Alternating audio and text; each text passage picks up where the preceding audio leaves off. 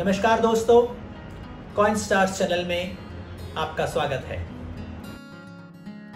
स्वतंत्र भारत के एक रुपए के सिक्कों की इस श्रृंखला में आपका स्वागत है। आज हम एक रुपए के कॉमेमोरेटिव सिक्कों के 21 से 23वें प्रकार के सिक्कों की बात करेंगे।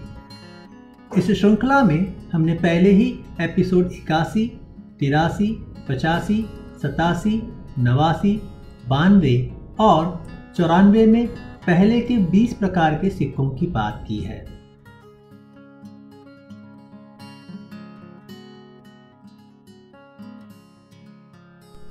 इक्कीसवें प्रकार का यह स्मारक सिक्का सन 1999 में बनाया गया था। यह सिक्का तीन मिनट में डाला गया था, बॉम्बे मिंट कलकत्ता मिंट और नोएडा मिंट इस स्मारक सिक्के की विषय वस्तु थी संत ज्ञानेश्वर। हालाँकि, संत ज्ञानेश्वर को उन्नीस सौ छियानवे में ही 700 साल हो चुके थे, लेकिन उसके तीन साल बाद यह स्मारक सिक्का बनाया गया था।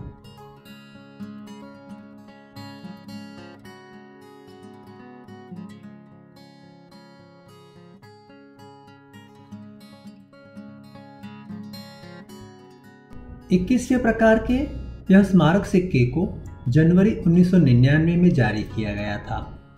स्क्रीन पर आप देख सकते हैं इन सिक्कों की टेक्निकल डिटेल्स।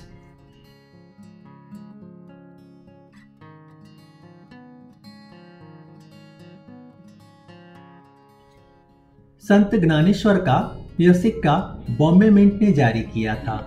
बॉम्बे मिंट का इन सिक्कों का मिंटेज था पचासी लाख सत्ताईस हज़ार सिक्के। बॉम्बे मिंट के यह सिक्के कॉमन प्रकार के होते हैं। इन सिक्कों की कीमत उनकी कंडीशन के आधार पर पाँच रुपयों से लेकर पच्चीस रुपयों तक होती है। कलकत्ता मिंट ने यह स्मारक सिक्के कितने बनाए थे, उसकी जानकारी अभी तक उपलब्ध नहीं हुई है।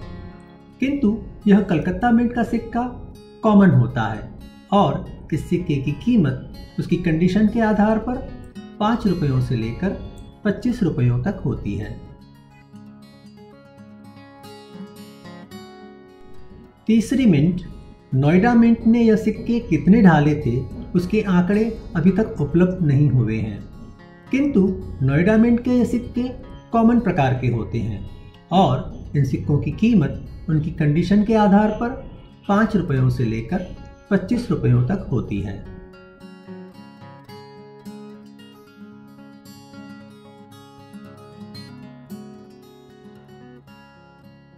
लोकनायक जयप्रकाश नारायण की जन्म जयंती के उपलक्ष्य में इस स्मारक सिक्का नंबर 22 को जारी किया गया था।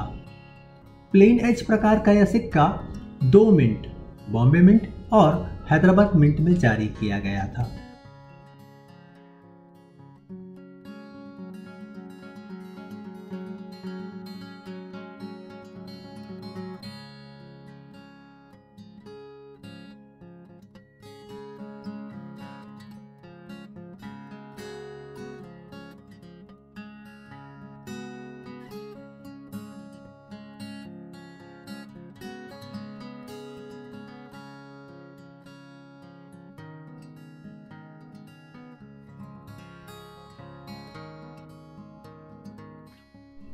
जयप्रकाश नारायण के इस स्मारक सिक्के को 11 अक्टूबर 2002 में जारी किया गया था।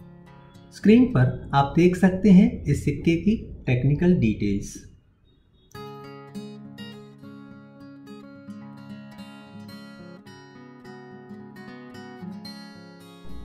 बाईस नंबर का यह स्मारक सिक्का बॉम्बे मिंट में जारी किया गया था।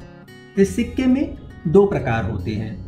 पहले प्रकार के सिक्कों में बॉम्बे मिंट का चिन्ह डायमंड वर्ष के आंकड़ों के नीचे होता है। बॉम्बे मिंट में इन सिक्कों का मिंटेज था इकतीस लाख तिरसठ हज़ार सिक्के।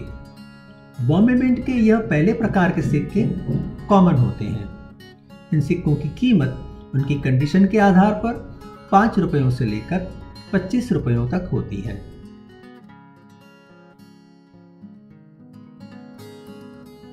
बॉम्बे मिंट के दूसरे प्रकार के इन सिक्कों में डायमंड मिंट मार्क नहीं होता है और वर्ष के आंकड़ों की नीचे की जगह खाली होती है। यह इसलिए हुआ था क्योंकि डायमंड प्रकार के सिक्कों वाली डाई ज़्यादा चलने के कारण पुरानी हो जाती थी और इसी वजह से वह घिसकर खराब हो जाती थी। और इसका सीधा असर वर्ष के आंकड़े और मिंट मार्क पर पड़ता था। मिंट मार्क छोटा होने की वजह से अच्छी तरह छप नहीं सकता था और ऐसे सिक्कों पर मिंट मार्क नहीं होने की वजह से एक नई वैरायटी बन जाती है। कई लोग ऐसे सिक्कों को कलकत्ता मिंट कहकर बेचते हैं, लेकिन कलकत्ता मिंट ने यह सिक्के कभी नहीं बनाए थे। इस प्रकार के मिंट मार्क बगैर के सिक्के रेयर होते हैं। इन सिक्कों की कीमत उनकी कंडीशन के आधार पर सात सौ रुपयों से लेकर एक हज़ार पाँच सौ रुपयों तक होती है। हैदराबाद मिंट ने यह स्मारक सिक्के कितने बनाए थे, उसकी जानकारी अप्रकाशित है। किंतु हैदराबाद मिंट के यह सिक्के कॉमन प्रकार के होते हैं और उनकी कीमत, इनकी कंडीशन के आधार पर पाँच रुपयों से लेकर पच्चीस रुपयों तक होती है।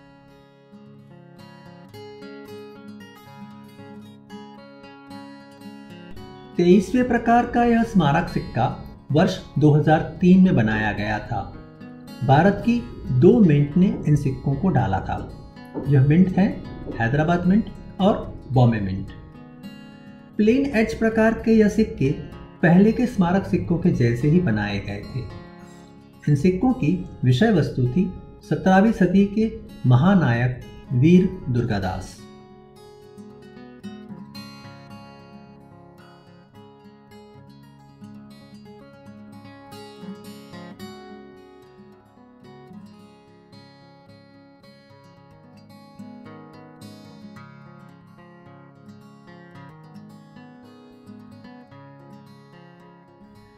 वीर दुर्गादास का यह सिक्का 25 अक्टूबर 2003 को जारी किया गया था।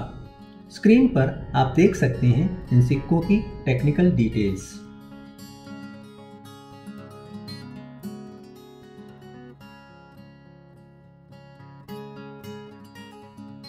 हैदराबाद मिंट ने यह सिक्के कितने बनाए थे, उसके मिंटेज फिगर्स अभी तक उपलब्ध नहीं हुए हैं।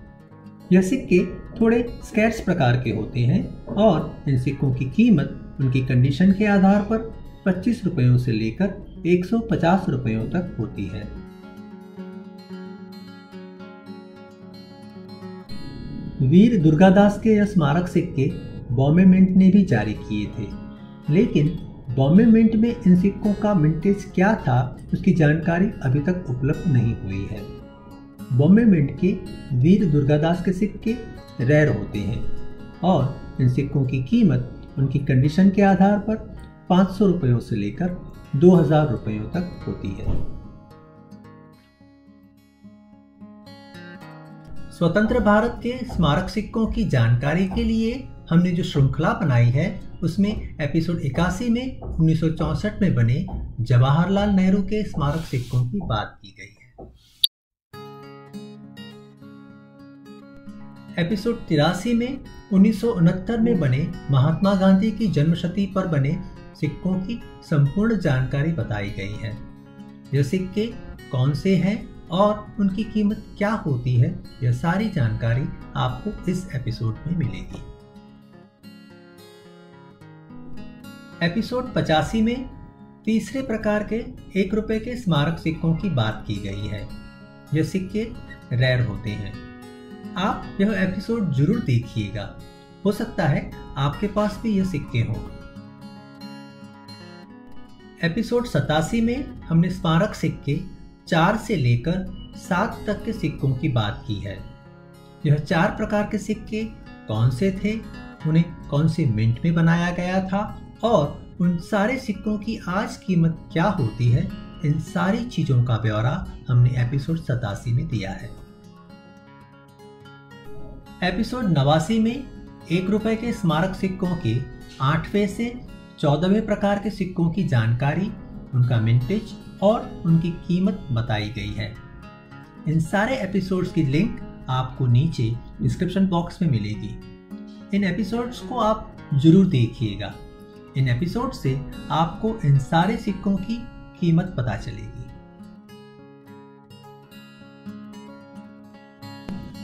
एपिसोड बानवे में एक रुपए के स्मारक सिक्कों के 15 से 17 प्रकार के सिक्कों की कहानी बताई गई है।